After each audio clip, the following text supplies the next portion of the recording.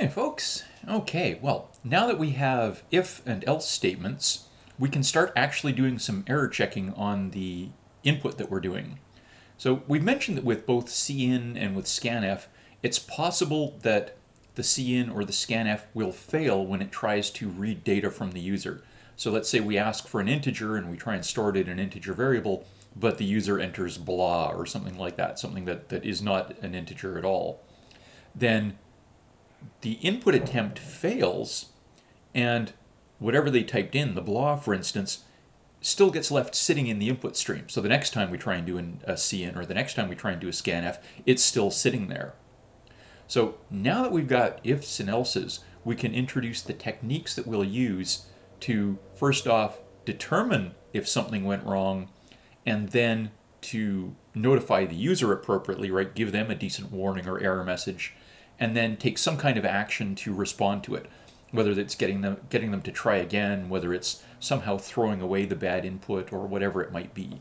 So that's where we want to go today, is to see what we can do. And so we'll go through with both cin and with scanf to look at the ways that we might sort of take these corrective actions. So this is really what we're interested in, in dealing with. Now, let's uh, start off with cin and at first, we'll just check to see if the attempt to cin actually succeeded or not. So cin actually provides an extra routine called fail that returns true if the most recent cin attempt failed.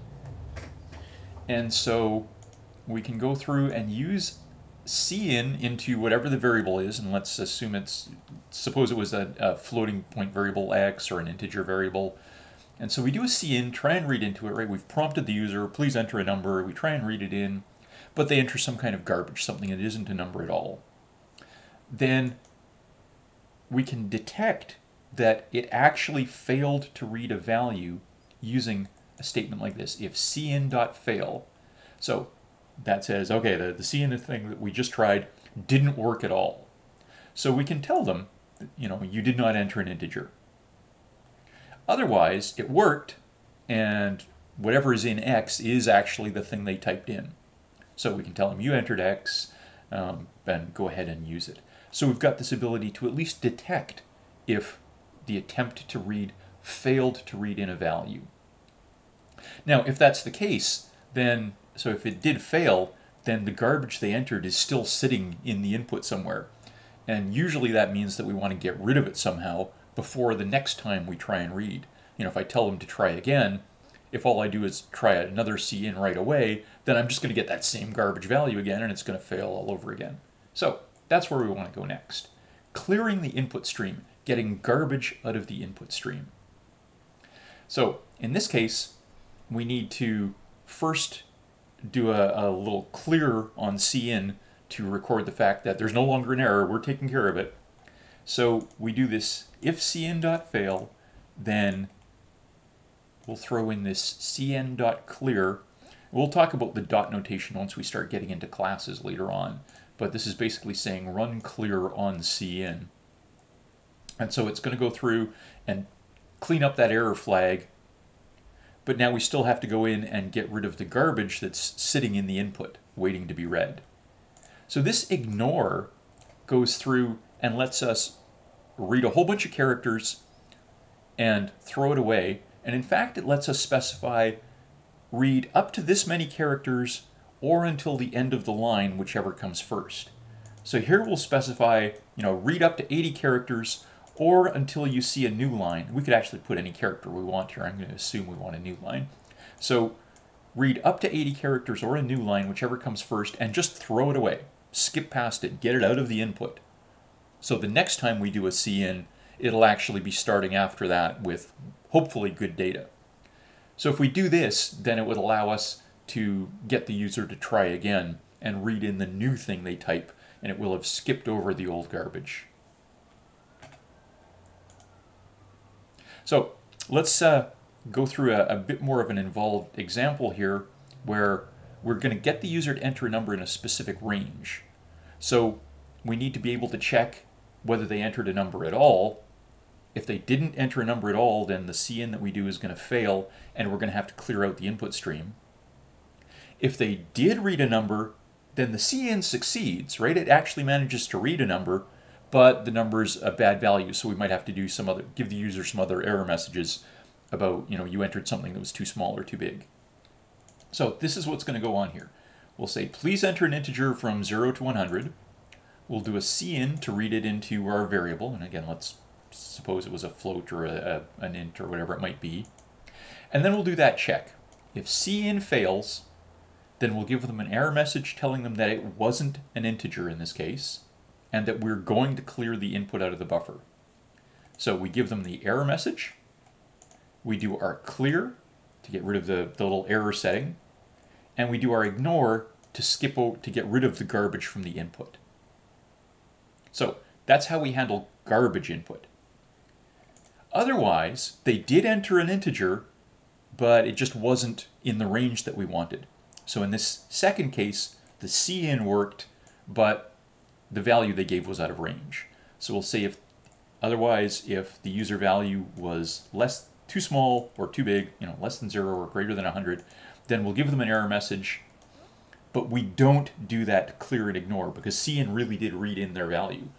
If you throw in a, a a clear and an ignore here, then it's actually going to grab the next thing they type in and throw that away, which is almost certainly not what you want. So the cin clear and ignore is only if the cin fails. And then, of course, the other possibility is they actually gave us a good value. So our else, oh my goodness, and I'm missing an opening bracket right after the else there.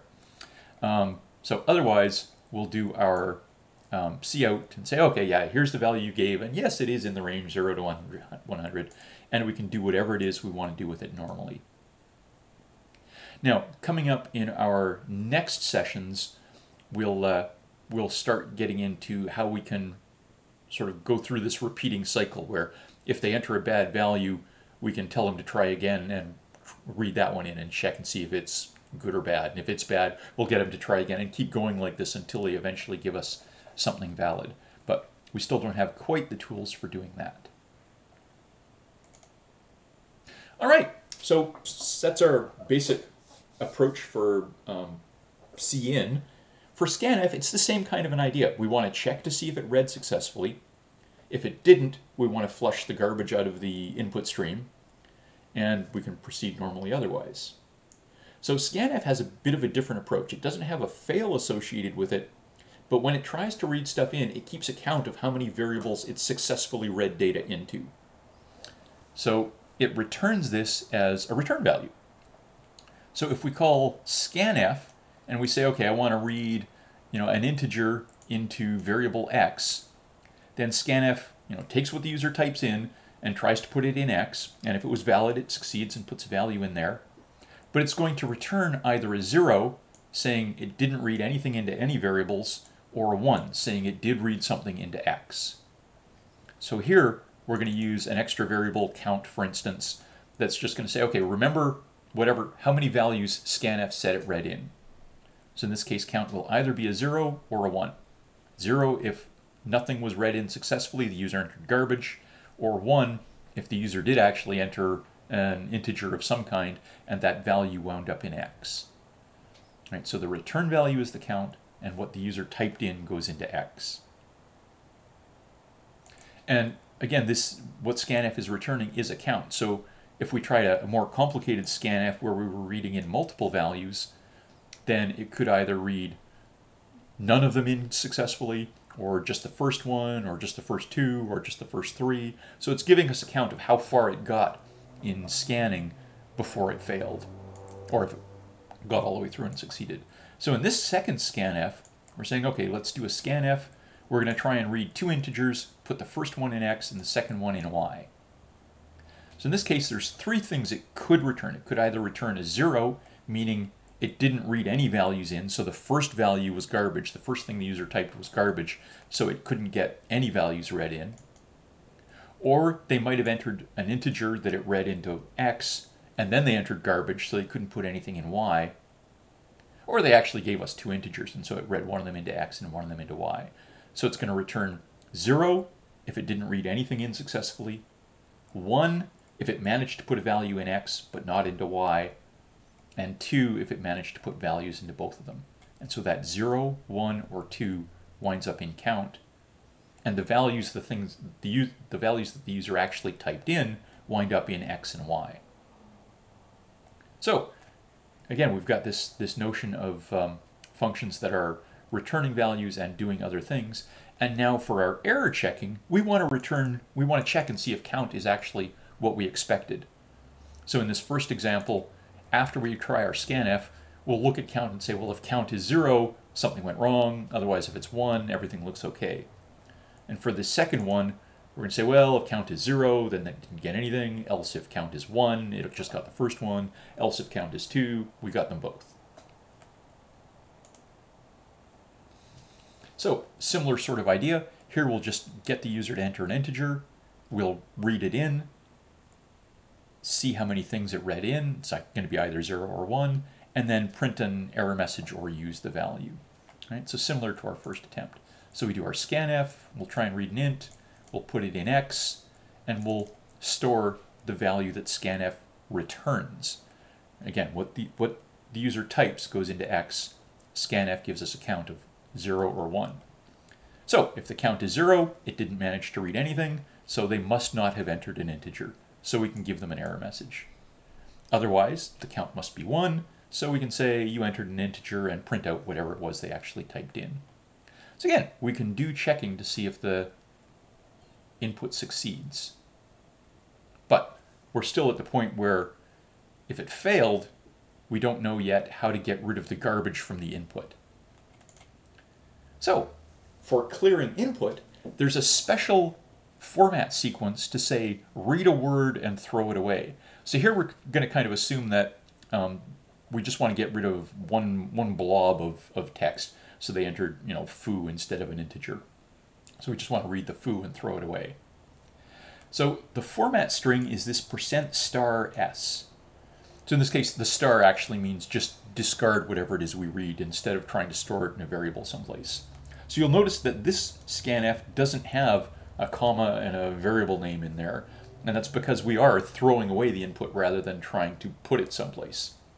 So it's just scanf, and then as our format string, the percent star s, and that reads and throws away one chunk of input.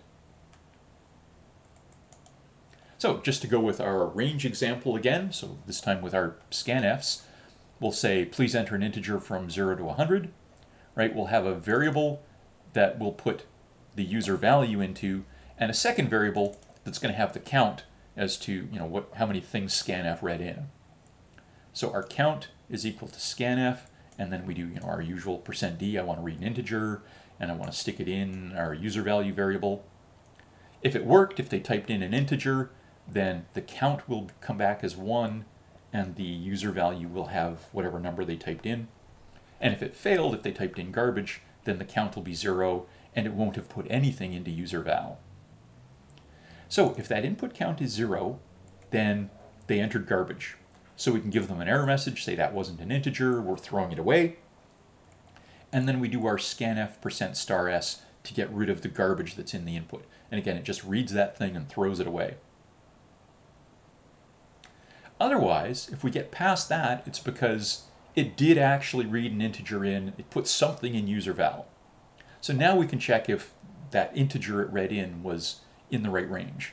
So if the user value was too small or the user value was too big, we'll give them a different kind of error message and tell them, you know, your value was essentially out of bounds. So it did read it in, right? The scanf succeeded, so it read the value in, the value's gone from the input, so we do not do a scanf star s here. Again, if you if you throw in an extra scanf star s, it's going to read the next thing they type and throw that away, which is not at all what we want. So again, the scanf star s is only for the case where the scanf fails to read something in. And then of course the third case is where they actually gave us a good value and we can do whatever it is we wanted to do with our, our normal good data. So this is a pretty common layout. And again, in uh, one of our next sessions, we'll get into how to get it to repeat and get them to try again and try again and try again and try again until eventually they give us something valid. Now, this is all assuming that we use either our cin or our scanf to read something directly into a variable of you know an integer type or a float type and so there's a possibility it will fail because the user types in stuff that's not appropriate for that data type.